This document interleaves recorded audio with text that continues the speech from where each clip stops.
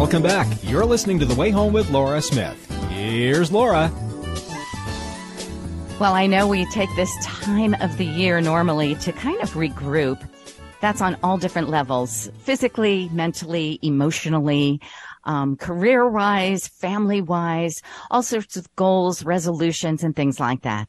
But I think what we are really on a quest for is a way to becoming more authentically who we are as human beings. And that's a little bit of a different quest because it, I think, takes some different tools to get there. I have a wonderful person here today who has a great book who's going to help us do just that and give us some great guidelines. Brigitte Visser is here. She's from somewhere in England right now, and she is what is known as a soul empowerment coach. She's written a book called Becoming Authentically Me. And so we are grateful to have you with us across the pond and into the new year. Thanks for coming on, Brigitte. Thank you so much for having me, Laura. And Happy New Year, by the way. Happy New Year to you too. I found that this was the first year I went through some personal trials. My beautiful father passed away just three weeks before um, two weeks before Christmas, actually. And uh, so that it seemed to sort of change my focus on just about everything this year. So when New Year's rolled around and I had my annual party at my house, I, I went through that and got through that and it was wonderful. But I really found that for the first time I have in my adult life, I haven't sat down and really thought about what I want to become in the new year because it's just been so fraught with things that are difficult um, in the past month or so. But I do know that unless I do that, it, it, it, the year will get away from me and I won't have really gone inward enough to think about what it is I truly want and truly want to become. You have written truly the book on becoming your authentic self and tell me about a, what it means to be a, a soul empowerment coach and how that could help us uh, maybe find our authentic selves. So sorry to hear about your father. Thank you. Um, so becoming your authentic self, and I, th- I think, you know, the last couple of years have been very much uh, a reflective, I call it a, a transformational time and a re- reflective period for many people. And it's made them think about life, you know, because we're so caught up in that rat race of life, of paying our bills, you know, working and paying our bills, that we deviate away from ourselves, right? It's like playing hide and seek with ourselves and when we talk about becoming our authentic selves, and I know this word has been thrown a lot, thrown around a lot in the last couple of years, and people think, yeah, well, what does it mean to become your authentic self? And it's really about rather than living a mind centered life, it's returning to a heart space centered life. There's a big difference right? Because we ingest everything within, we ingest everything with our mind.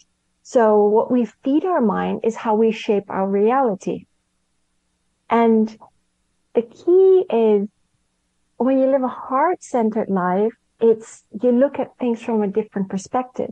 And when we talk about that inward journey, as you just said, that is really about reflecting within yourself and healing um, what has what what still what still needs to be healed. And we always attract the people right? And in my case it's been very toxic. My whole life's been you know a, toxic ride. Um, but i wouldn't have it any other way. I mean the challenges that i've been through but it's it's traveling inward. And once you travel inward and you heal the trauma within your outlook on life will change because we are all energy and people often forget that. They think we're this, you know, this blob of an organ, uh, an, an organism, right? We're just this body, but we're actually the soul within this body. And we are divine alchemists. And people are like, yeah, but what, what does that, what does that even mean? It means that you create your reality according to what you feed your mind, you know? And that's, that's,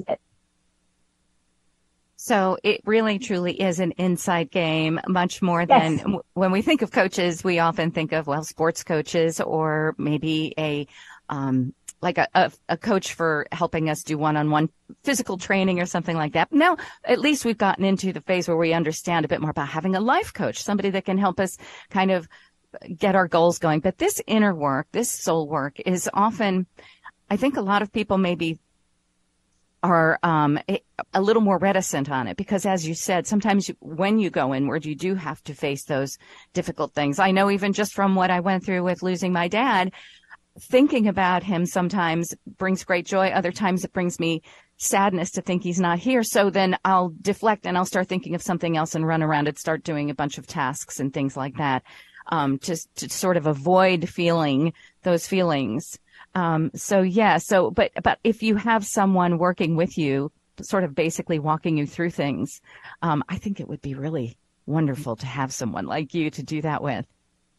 And you know, it's good to feel when we when we feel rather than deflecting right it's we have to reflect so when you feel the need to cry or you feel the need to talk about your dad or even talk to your dad because your dad is listening he's always there he really is always there um, and he will hear you and sometimes what they do, what spirit does, and I noticed from my step, my stepdad, not my, my dad is, you know, he passed in 1988 when I was 14, but my stepdad, he's sometimes around and I will smell, all of a sudden I'll smell smoke in the house because he used to smoke cigarettes. And it's like, John, what do you want?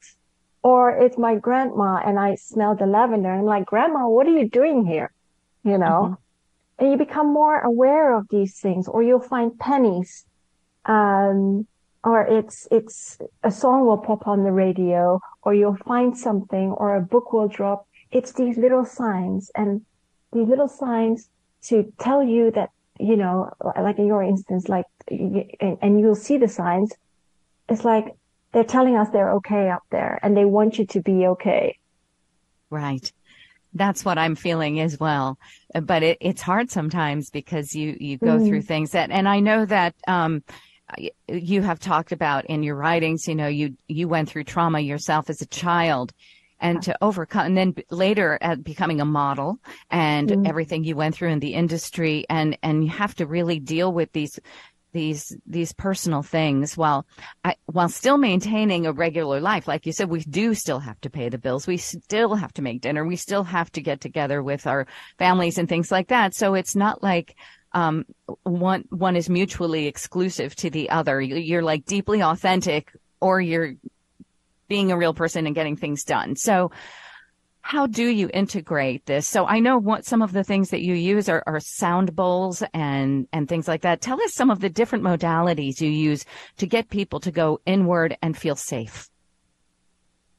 So, I actually use light language and the sound bowls. And every time I do my light language healing, and people are like, what's light language healing? Well, I always say it's like gerbil language. So it's, I can do demo if you want. Um, and it's, I call it the galactic energies. And it's so powerful because what, it, what I say, you won't understand on a conscious level, but you don't need to understand it on a conscious level. Your soul understands it.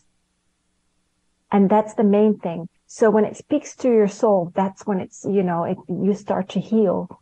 It's such powerful healing. I've had people, you know, come back to me and, and they're like, one of, one person, she said to me, you know, I had to go into hospital the next day and I had surgery. And she's like, I was so scared, but you did the light language session. And she's like, my fear had just dissipated. I had no issues going into hospital the next day. That's wonderful. You know, isn't it? We they talk a lot about. I know A Course in Miracles talks a lot about. There's only two emotions or two reality, and one is fear and one is love. But fear really is a terrible thing because it really. I mean, in some senses, if it helps to save you, if you're fearful of something and therefore you take caution or warning in that sense. But other than that, fear is just one of those emotions that seems to really block our sense of wellness and, and and being. And so, um, so this, this idea of really being able to heal very much in the inner workings of oneself. How does sound healing work? Because I've, I've heard people use those sound bowls and it truly is a remarkable thing when, when you hear them. It just like, it, it goes so deeply into you. How is it healing though? What is the, is there a science behind it? So I have alchemy healing bowls. I've you have the, the crystal healing bowls. I don't have those. I have the cosmic healing bowls and the alchemy healing bowls. So they are all, they're all 432 hertz and that alleviates the stress. But it all depends on how you play the bowls, um, because bowls have consciousness too. So I have one that's for the throat and uh, that's really Archangel Michael. Then I have a green one, which is the Cosmic Heart, which is Archangel Raphael. And then I have the Laughing Buddha. And the Laughing Buddha is a stubborn one. Um, but I don't play them loud because they will, it, it's the toning. And the toning is what, as, as my guides always say, it's the toning that jolts the cells within your, within your body, within your DNA. And again, you don't have to understand it. I mean, it's very, when you hear the, you know, the sound of bowls, you get into a state of deep, it's kind of deep relaxation. And when I combine that with light language, that's a double whammy, as I call it, because it's double as powerful. And, um, I've had somebody here, uh, several weeks ago and she was terribly depressed, bless her cotton socks and because she's in a very difficult relationship. But she's made that choice to stay with him, but she's working on herself. So she's healing. And so she was, I had a session with her for like an hour and it was the strange, she said it was the strangest thing because I saw her hands move and she's like, but I wasn't moving them. He's like, I felt them move, but I wasn't moving them. And, um, she left and she said, I, I, she was just speechless and two days later, she just said to me, she's like, it was so, so powerful because, because it gave me so much more clarity. And she's like, I was really in a funk. And I think that is just so, so important. The other thing, and I do want to touch on that because you were talking about fear and love, right? These are, you know, we live in a world of duality, of polarities. So fear is, as Saint Germain, the Ascended Master Saint Germain, because I work a lot with him, he always says fear is the Darth Vader to your Jedi, right? Because fear is an illusion. It's created within the mind because we get bombarded with, with things from like the, you know, the media, TV, basically everything, everything, um, we get bombarded with. Um, and love is why we're here. We're here to return to a love for ourselves and others and that's that heart centered life. Ah, you, you, your voice even has a calming effect because I'm, I'm listening to it and, and just, it's how important it is to be able to come down to that place where you can just literally stop that, that mind, that monkey mind, they call it in some yeah. traditions, and to really just get back to your soul. Um, tell us about becoming authentically me, the book, and um, what your main message in it is, and where people can find it. Yeah, so the book Becoming Authentically Me, well, I, I started writing that in uh, 2000, to be honest. And I had to go through many, many life experiences because, you know, I was abused as a child. And it's when you don't resolve your issues, your trauma, it's one bit of trauma creates another bit of trauma. And so it took me years because I just created more and more trauma and I carried the weight of the world on my shoulders. And even in the modeling industry, I was abused. I was bullied as a kid at school. So I talk about that very openly. I talk about the fact that I used drugs, nearly killed myself after my stepdad had passed away. I talk about the fact that my dad passed away and that was very difficult. Um, I was also bullied in the workplace. I had toxic relationships.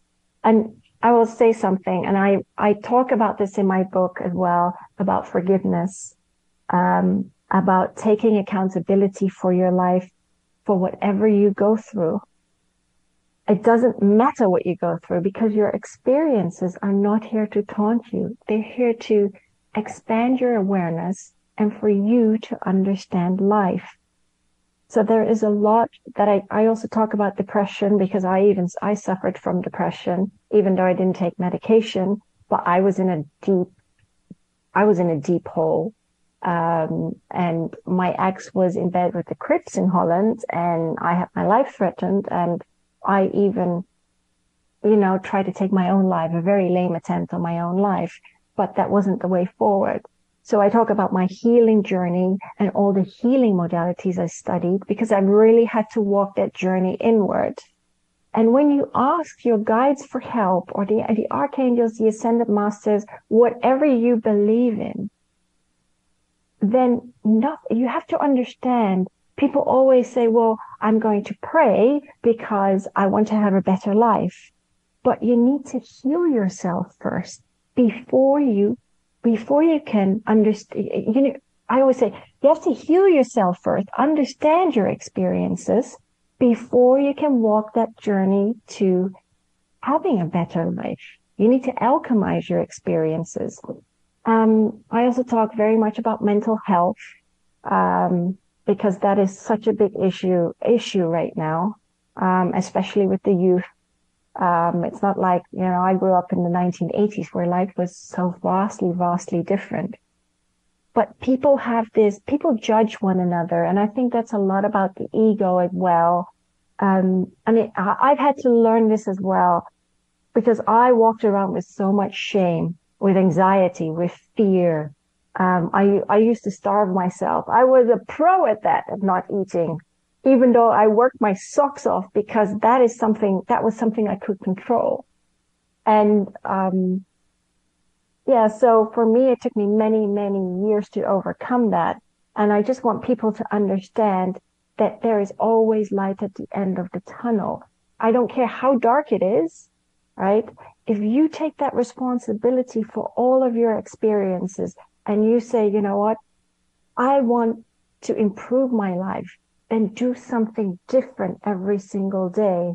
It's to, I call it, it's unlearning the learned, everything that you've learned and reprogramming yourself, getting rid of that conditioning. Now I live a life without shame, without fear, because I, I mean, I've been trampled upon. I've been kicked around, so to speak, you know, and I always allowed people well, the words that they said, I allowed them to hurt me. Mm-hmm.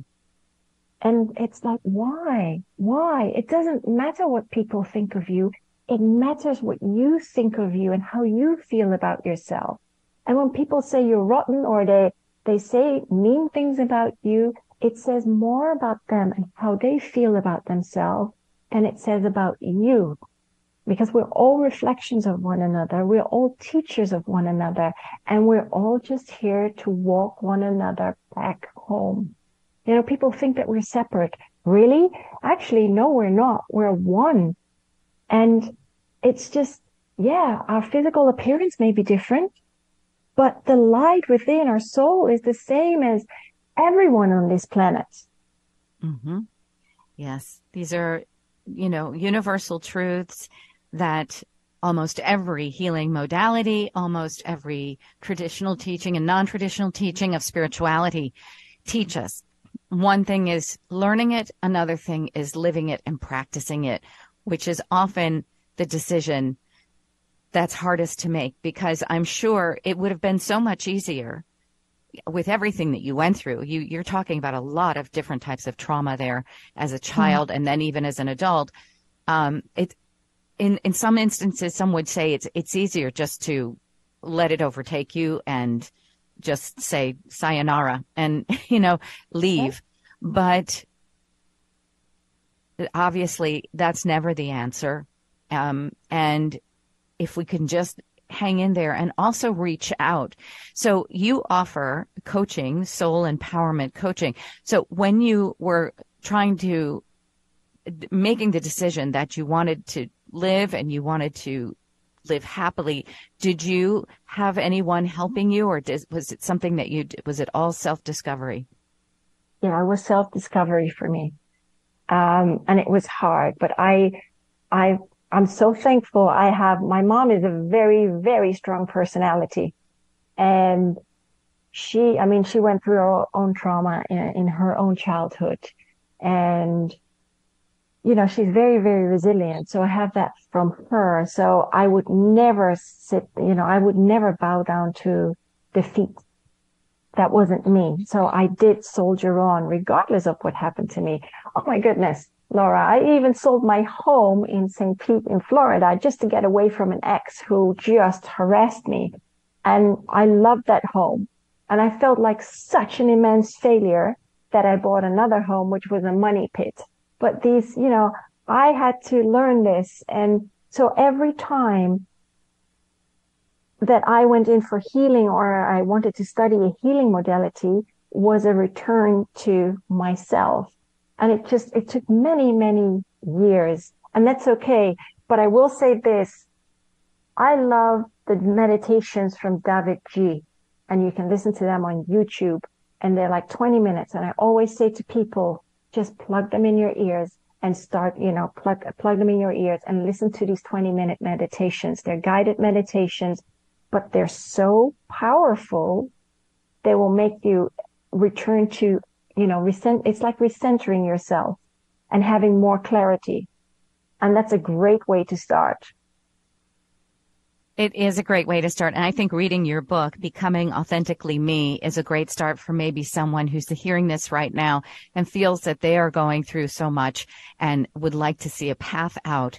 And indeed, they can also, do you work um, with people either uh, remotely via Zoom or anything like that? Or, or do yes, you not I do, do, that? I do. do. I, I okay. do. I do. I do. I'm in, so, I'm actually in the midst of writing my second book, which is about India. so Okay. Well, you'll have to come back on when you finish the book. But I so appreciate it. Brigitte Visser is my guest. Her last name is V-I-S-S-E-R. Her book is Becoming Authentically Me. She is a soul empowerment coach, which means she is available to you. I tell us your website. I believe it's soul empowerment or something. Well, it's powersoulhealing.com. Sorry, got it back to front. Yes. Power Soul Healing dot com, powersoulhealing.com. You can see everything that Brigitte offers and um, hopefully you won't feel alone in your journey to your own wellness and being your best self. Brigida, thank you so much for joining us today and for your wonderful words of wisdom, empowerment, and healing. Thank you. Thank you so much, Laura. Can I say one more thing? Please. Yeah. So for anybody out there that doesn't feel loved, right? Just know that even though I don't know you on, on a conscience, on a, on a conscious level, um, I, and I'll know you on a soul level, just know that I love you. Ah, thank you. Thank you. You are loved. That's the message. Brigitte Visser. You're listening to The Way Home. We'll be right back.